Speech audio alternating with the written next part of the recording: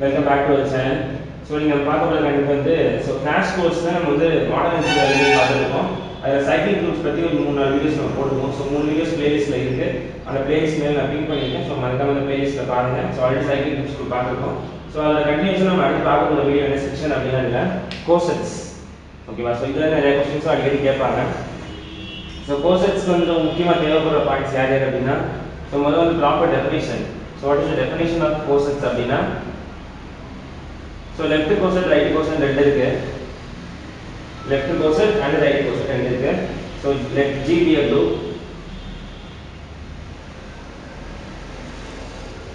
so என்னை பொறுத்த வரைக்கும் எப்பவுமே என்ன சொல்லுவேன் அப்படின்னா டெஃபினேஷன்ஸ் நல்லா ப்ராப்பராக படிச்சுக்கணும். அது ரொம்ப முக்கியம். Subgroup of G like A belongs to G.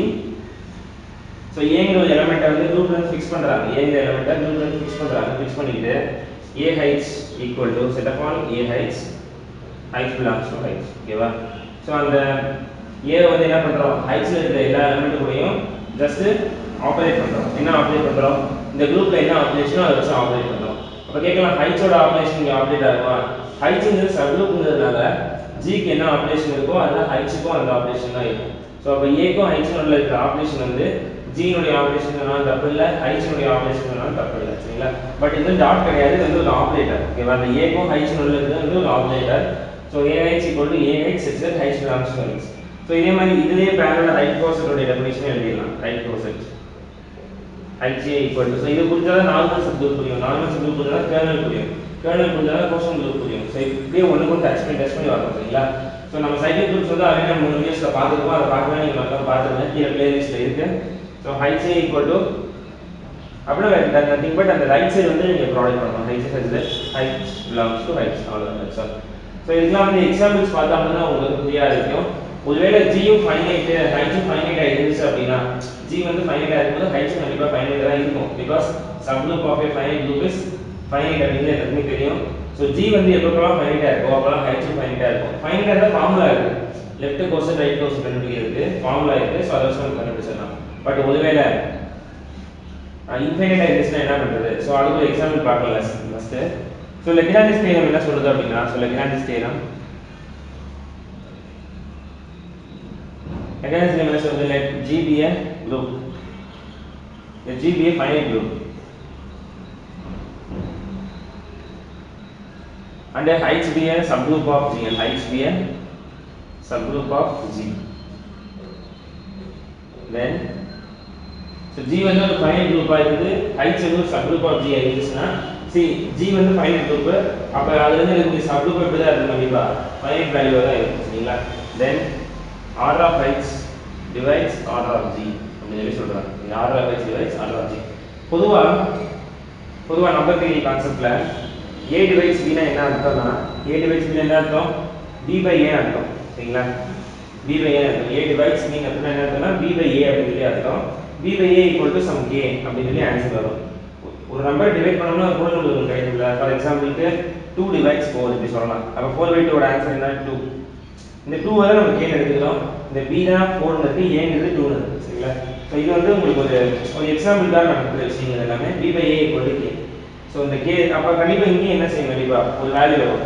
For example இந்த ஏ மாதிரி இந்த பி மாதிரி பாருங்க. உங்களுக்கு என்ன வரும்? Order of G A divides பின்னா பி பை ஏ எழுதலாம். அப்போ order of H order of H divides order of G அப்படின்னா order of G divide by order of H equal to some K வரும். ஓகேவா லெக்னானிஸ் தீரம் படி இந்த கேங்க கேக்கு என்ன அப்படின்னா this K is called index இந்த கே யாரு? இண்டெக்ஸ் அப்படின்னு சொல்லுவோம். சரிங்களா? Index of a group so இந்த இண்டெக்ஸ் ஆஃப் ஏ குரூப் எப்படி கண்டுபிடிக்கணும் அப்படின்னா ஸோ இந்த இண்டெக்ஸ் யார் அப்படின்னா இந்த index is the number of left or right cosets so ஒன்று லெஃப்டாக கண்டுபிடிக்கணும் இல்லை ரைட் கண்டுபிடிக்கணும் ரெண்டு ஒன்று கொஞ்சம் ரெண்டே கண்டுபிடிச்சு ரெண்டே add பண்ணிக்கக்கூடாது so index is the number of left or right cosets right கோர்ஸ்னால யார் எழுதுறோம் of H left right cosets யார் கண்டுபிடிக்கிறோம் ஹைட்ஸ் தான் கண்டுபிடிக்கிறோம் சரிங்களா? ஆஃப் ஹைட்ஸ் இன் ஓகேவா ஸோ இந்த K also K represented by I of H over G இல்லை? So index of H over G அப்படின்னு சொல்லி ரெப்ரசென்ட் பண்ணுவாங்க. நிறைய புக்கில் என்ன பண்ணிப்பாங்க அப்படின்னா இப்படி ரெப்ரசென்ட் பண்ணுவாங்க. ஜி ஓவர் ஹெச் அப்படின்னு ரெப்ரசென்ட் பண்ணுவாங்க. ஸோ எப்படி பண்ணாலும் இதான் ஃபார்முலா சரிங்களா அப்போ index of H over G இல்லாட்டி ஜி ஓவர் ஹைச் அப்படிங்கிறது என்ன ஃபார்முலா அப்படின்னா order of G by order of H தான் ஃபார்முலா இது ஃபைனைட்டாக இருந்தால் ஓகே ஃபைனைட்டாக இருந்தால் வச்சு நீங்கள் பண்ணிடுவீங்க ஓகேவா ஸோ இதை வந்து நம்ம சைடில் தனியாக எழுதி வச்சுக்கலாம். தனியாக நோட் பண்ணிக்கணும் மட்டும் தனியாக சைடில் ஸோ என்ன கண்டுபிடிச்சிருக்கோம் அப்படின்னா order of G by order of H பண்ணலாம் order of G by order of H பண்ணீங்க அப்படின்னா you will index the index. Index by get the இல்லை இது வந்து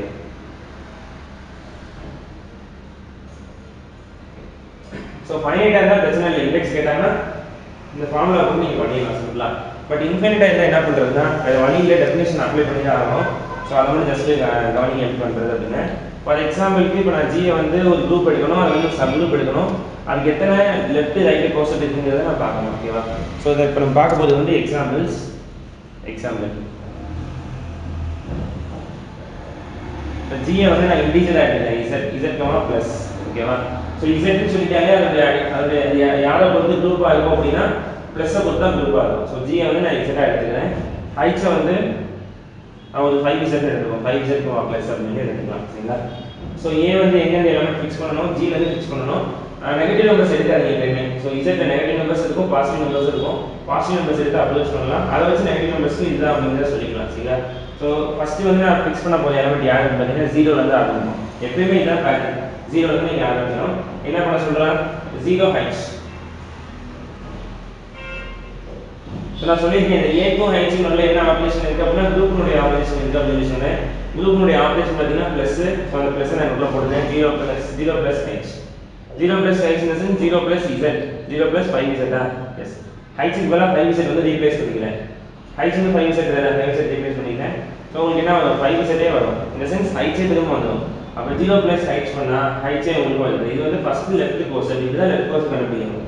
இப்போ அடுத்து நான் ஏ ஈக்குவல் டு ஒன் நான் ஃபிக்ஸ் பண்ணுறேன் ஏ ஈக்குவல் ஒன் நான் ஃபிக்ஸ் பண்ணுறப்ப one plus H so one plus H எப்படி இருக்கும் ஒன் ப்ளஸ் ஃபைவ் செட் இருக்கும் one plus five Z so some elements நம்ம எழுதி பார்த்தே ஆகணும் வேறு வழி இல்லை. சம் எலமெண்ட்ஸ் கொஞ்சம் நம்ம சொல்லியே ஆகணும்.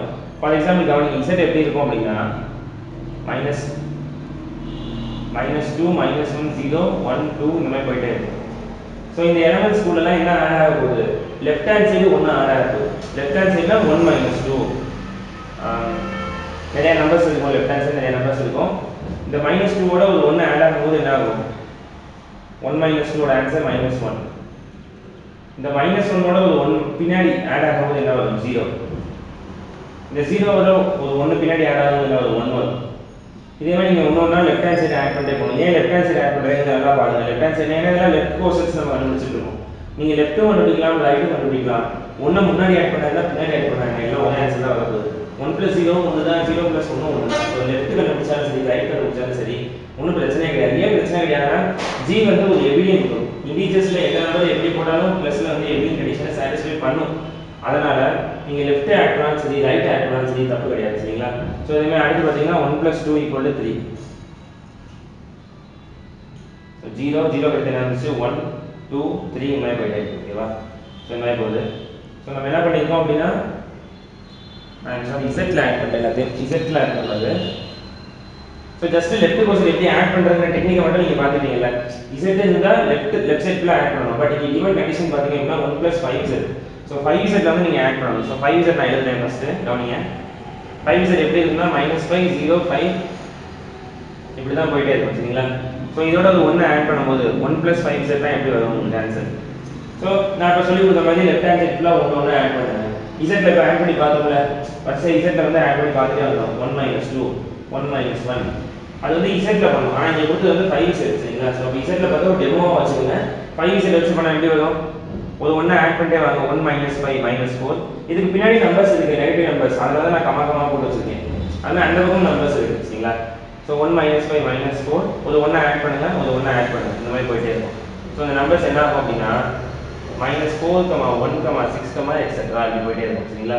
ஸோ இசட்ல ஆட் பண்ணி காமிச்சது ஒரு டெமோ இதில் வந்து ஆட் பண்ணி எப்படி ஆட் பண்ணணும்னு சொல்லி காமிச்சோம். ஆக்சுவலாக ஃபைவ் இசட்டில் பண்ணணும் தெரியாமல் வந்து இசட்டில் பண்ணி காமிச்சிட்டேன். சரி பரவாயில்ல ஒரு டெமோ எடுத்துக்கங்க. ஃபைவ் இசட்டில் இப்படி தான் ஒன்று ஆட் பண்ணணும். ஃபைவ் இசட் எழுதிக்கிட்டு அதில் வந்து ஒன்று ஒன்று அப்படியே ஆட் பண்ணிக்கிட்டே வரும் ஓகேவா ஃபைன் ஸோ இது வந்து ஒன்று ஆட் பண்ணால் வர கேசஸ் இப்போ அடுத்து என்ன பண்ணணும்? ஏ வந்து டூன்னு சொல்லி ஃபிக்ஸ் பண்ணிக்கலாம். ஏ வந்து டூன்னு ஃபிக்ஸ் பண்ணிட்டீங்க அப்படின்னா டூ ப்ளஸ் சைன்ஸ் அப்படின்னா two plus five set two plus five set சரி நல்லா கவனிங்க. நல்லா கவனிங்க. டூ ப்ளஸ் ஃபைவ் பண்ணாலும் இதோட ஒரு ஒன்றை ஆட் பண்ணாலும் தப்பு கிடையாது. ஸோ எப்படினாலும் பண்ணலாம். அது உங்களுடைய ப்ரியாரிட்டி இதில் வந்து ஒரு ஒன்றை ஆட் பண்ணி நீங்கள் எழுதலாம். பட் நான் ஸ்ட்ரைட்டாகவே பண்ணுறேன் ஃபைவ் செட் திரும்ப எழுதுங்க. Minus five zero five et cetera அப்படி போயிட்டே இருக்கும். இதோட ஒரு டூ நான் ஆட் பண்ணுறேன் லெஃப்ட் ஹேண்ட் சைடு ஆட் பண்ணுறேன் அதாவது ரொம்ப முக்கியம். லெஃப்ட் ஹேண்ட் சைடு ஆட் பண்ணுறேன் so left hand side add பண்ணீங்க அப்படின்னா two minus five minus three வரும். டூ ப்ளஸ் ஜீரோ டூ வரும். அப்போ இது மட்டும் இந்த மூணு நம்பர் தான் வரும் அப்படிலாம் கிடையாது. லெஃப்ட்டும் நிறைய நம்பர் இருக்குது ரைட்டும் நிறைய நம்பர் இருக்குது சரிங்களா? கமா இதோ டூ ஆட் பண்ணிங்கன்னா செவன் வரும். இப்போ என்ன எழுதிக்கலாம். Minus three comma two comma seven comma et cetera நல்லா கவனிங்க. ஃபைவ் செட் நல்லா கவனிச்சு சொல்லுங்க வார்த்தையை. ஃபைவ் செட்டில் போய் டூ ஆட் பண்ணாலும் ஒன் ப்ளஸ் ஃபைவ் செட்டில் வந்து ஒன்றை ஆட் பண்ணாலும் அதே ஆன்சர் தான் வரும். இப்போ நீங்கள் இந்த இடத்துல ஒன்று ஆட் பண்ணி பாருங்க minus three two seven so நீங்கள் வந்து ஃபைவ் செட்டில் போய் டூ ஆட் பண்ணணும் அவசியம் இல்லை. கண்டுபிடி கண்டுபிடிக்க ஒன்று ஒன்றா ஆட் பண்ணிக்கிட்டே வந்தாலும் தப்பு கிடையாது சரிங்களா? ஸோ பார்த்து பார்க்கலாம். அடுத்து நம்ம பார்க்க போது பார்த்தீங்கன்னா ஏ ஈக்குவல் த்ரீன்னு சொல்லி எடுத்துக்கலாம். ஸோ இப்போ A equal zero one two மூணு எடுத்துருக்கோம். த்ரீ எடுத்துக்கலாம். இப்போ எடுத்து three plus x it's equal three plus five z so five செட்டோட த்ரீ ஆட் பண்ணிகிட்டே வாங்க. ஃபைவ் செட்னா என்னது? Minus five zero five et cetera இதோட த்ரீ ஆட் பண்ணிட்டே வாங்க லெஃப்ட் ஹேண்ட் சைடு ஆட் பண்ணிட்டே வாங்க திரும்பி சொல்கிறேன் இதில் த்ரீ ஆட் பண்ணுறதும் டூ ப்ளஸ் ஃபைவ் செட்டில் ஒன்று ஆட் பண்ணுறதும் சேம் தான் சரிங்களா?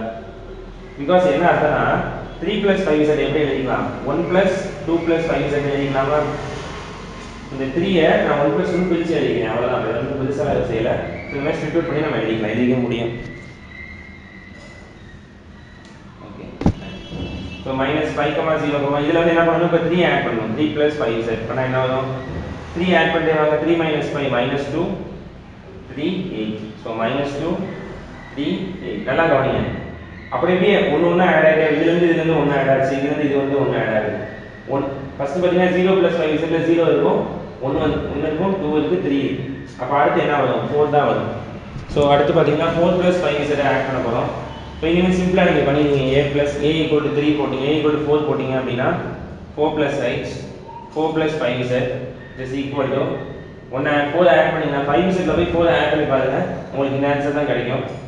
ஸோ ஃபோர் ஃபைவ் செட்டில் போய் ஃபோர் ஆட் பண்ணுறதும் த்ரீ ப்ளஸ் ஃபைவ் செட்டில் ஒன்று ஆட் பண்ணுறதும் சேம் ஸோ உங்களுக்கு புரியலனா ரிப்பீட்டடாக கேளுங்க. ஈஸியாக அது புரிய ஆரம்பிக்கும்.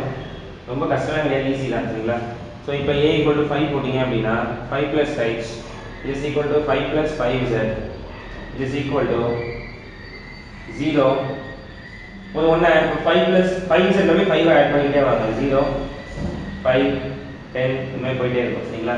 ஸோ உங்களுக்கு இந்த பக்கம் நெகட்டிவ் நம்பர்ஸ்லாம் இருக்குது இந்த பக்கம் நெகட்டிவ் நம்பர்ஸ் இருக்குது வந்துடக்கூடாது. ஸோ இது பார்த்தீங்கன்னா அகைன் பார்த்தீங்கன்னா இது வந்து ஃபைவ் செட்டாக மாறிடுச்சு. இது அகைன் ஃபைவ் செட் தானே? ப்ளஸ் ஆ மைனஸ் ஃபைவ் ப்ளஸ் ஆ மைனஸ் ஃபைவ்னா திரும்ப உள்ள உட்காரு ஸோ ஜீரோ ப்ளஸ் ஃபைவ் செட்டும் ஜீரோ ப்ளஸ் ஃபைவ் செட்டும் ஃபைவ் ப்ளஸ் ஃபைவ் செட் எப்படி ஆயிடுச்சு? ஜீரோ ப்ளஸ் ஃபைவ் செட் போட்டாலும் ஃபைவ் ப்ளஸ் ஃபைவ் செட் போட்டாலும் சேமாக வந்துடுச்சு உங்களுக்கு ஆன்சர் ஸோ இது சேமாக வந்துட்டதுனால ரிப்பீட்டேஷன்ஸ் வந்து நாட் அலோட் கோர்சன்ஸை பொறுத்த வரைக்கும் ரிப்பீட்டேஷன் வந்து இருக்கக்கூடாது. ஸோ ரிப்பீட்டேஷன்ஸ் இருக்கக்கூடாதுன்னா இதை நம்ம என்ன பண்ணுறோம் இந்த ஏ ஈக்குவல் டு ஃபைவை நீங்கள் எடுக்கக்கூடாது சரிங்களா? So A equal to five எடுத்தாலும் திரும்ப அதே இருந்தனால நீங்கள் எடுக்கக்கூடாது so left cosets equal to so நீங்கள் லெஃப்டாக எழுதுனா ரைட்டாக எழுதிக்கலாம் தப்பு கிடையாது. Zero plus H one plus H two plus H three plus H four plus H so index equal to cardinality of left cosets so left கோர்சன்ல எத்தனை element இருக்கு? நல்லா கவனிங்க. ஜீரோ ப்ளஸ் ஹெச்ல நிறைய எலமெண்ட்ஸ் இருக்கு. ஒன் ப்ளஸ் ஹெச்ல நிறைய elements இருக்கு. Two plus ஹெச்ல நிறைய elements இருக்கு. பட் மொத்தமாக எத்தனை எலமெண்ட்ஸ் இருக்கு? லெஃப்ட் கோர்சன்ல எத்தனைனா ஒன்று ரெண்டு மூணு நாலு அஞ்சு. சரிங்களா? ஸோ அஞ்சு தான் இருக்கும் ஓகேவா இது வந்து ப்ராப்பர்ட்டி ஸோ ஃபைவ் செட்டாக இருந்தால் இண்டெக்ஸ் வந்து ஃபைவ் வரும். எண்ணி செட்டாக இருந்தால் இண்டெக்ஸ் வந்து எண்ணி செட் வரும். சரிங்களா சாரி அண்ட் சாரி இண்டெக்ஸ் வந்து ஹைட்ஸ் வந்து சப்போஸ் எண்ணி செட்டாக இருக்கும்போது எண்ணி செட் ப்ளஸ்ஸாக இருந்துச்சு அப்படின்னா இப்போ நீங்கள் ஃபைவ் செட்டுக்குலாம் பார்த்துருக்கீங்க இப்போ நான் ஃபார் எக்ஸாம்பிள் ஹைட்ஸ் வந்து நான் எண்ணி செட் எடுத்துக்கிறேன். அப்படி எடுத்தேன் அப்படின்னா இண்டெக்ஸோட வேல்யூ என்ன வரும் அப்படின்னா கார்டினாலிட்டி ஆஃப் லெஃப்ட் போர்ஷன்ஸ் யாரோட லெஃப்ட் போர்ஷன்ஸ் எண்ணி லெஃப்ட் போர்ஷன் எடுத்தீங்க அப்படின்னா என் வரும். ஃபைவ் செட் எடுத்ததுனால ஃபைவ் வந்துச்சு. என் செட் எடுத்தால் என் வரும். த்ரீ செட் எடுத்தால் த்ரீ வரும். டூ செட் எடுத்தால் டூ வரும். ஓகேவா ஸோ இந்த மாதிரி உங்களுக்கு வேல்யூஸ் எல்லாம் மாறி மாறி வந்துட்டே இருக்கும். இன்ஃபைனைட் குரூப்ஸ்க்கு இப்படி தான் நீங்கள் கண்டுபிடிச்சு அந்த மாதிரி கிடையாது. ஃபைனைட் குரூப்லாம் கேட்டாங்கன்னா order of G by order of place போட்டால் வந்துடும் சரிங்களா? ஸோ கோசெட்ஸை வச்சு நம்ம நிறையா ப்ராப்பர்ட்டிஸ் பார்க்க வேண்டியிருக்கு. அந்த கோசெட்ஸுடைய ப்ராப்பர்ட்டிஸ் ரெகுலாரிட்டி நம்மளுடைய ப்ராப்பர்ட்டிஸ் அப்புறம் அதே மாதிரி ஃபைனல் இன்ஃபைனைட் லூப்ஸ்க்குரிய இந்த நார்மல் சப்ஜெக்ட் எப்படி கிரியேட் ஆகுது வந்து அதெல்லாம் நம்ம நெக்ஸ்ட் கிளாஸ் பார்க்கலாம் சரிங்களா? So PGTRB TRB college SET எக்ஸாமினேஷனுக்கு crash courses conduct பண்ணிட்டு இருக்கோம் ஸோ மெட்டீரியல்ஸ் நம்ம சைட்லேருந்து ப்ரொவைட் பண்ணுறோம் எல்லாமே. ஸோ உங்களுக்கு ஏதாவது நம்மளோட கோர்ஸில் மெட்டீரியல் தேவைப்பட்டுச்சு அப்படின்னா கீழே இருக்கிற ரெஜிஸ்ட்ரேஷன் நம்பர் உங்களுக்கு கால் பண்ணலாம். ஸ்க்ரீனர் நேம் நம்பருக்கு கால் பண்ணலாம். அதர்வைஸ் அது முடியல அப்படின்னா நம்ம கீழே வந்து கோர்ஸ் ரெஜிஸ்ட்ரேஷன் ஃபார்ம் அப்படின்னு ஒரு ஃபார்ம் இருக்குது கிராஷ் கோர்ஸ் ரெஜிஸ்ட்ரேஷன் ஃபார்ம் ஒரு ஃபார்ம் இருக்குது மெட்டீரியல் ஃபார்ம் சொல்லி ஒரு ஃபார்ம் இருக்குது ஸோ கூகுள் ஃபார்ம்ஸில் ஏதாச்சும் ஒன்று ஃபில் பண்ணாலும் நாங்கள் வந்து திரும்ப காண்டாக்ட் பண்ணி உங்களுக்கு நாங்கள் பேசுவோம் கண்டிப்பாக சரிங்களா? ஸோ உங்களுக்கு எந்த டவுட்னாலும் தாராளமாக கால் பண்ணலாம். இந்த வீடியோ அக்கா யூஸ்ஃபுல்லாக இருக்கும் நினச்சிங்கன்னா ஷேர் பண்ணுங்கள் நெக்ஸ்ட் வீடியோவில் பார்க்கலாம். Thank you so much